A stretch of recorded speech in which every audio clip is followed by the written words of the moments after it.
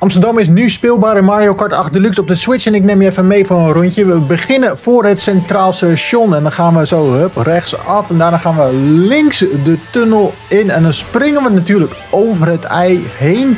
En natuurlijk pakken we even een treintje mee en dan landen we midden in de Zaanse Schans. Van, zo gaat dat. En dan keren we weer terug richting Amsterdam en nemen we het pontje weer naar het centrum.